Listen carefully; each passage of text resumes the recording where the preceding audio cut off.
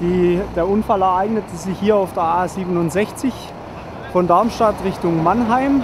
Im Baustellenbereich bei der, im Bereich AS Lorsch kam es zu einem Auffahrunfall.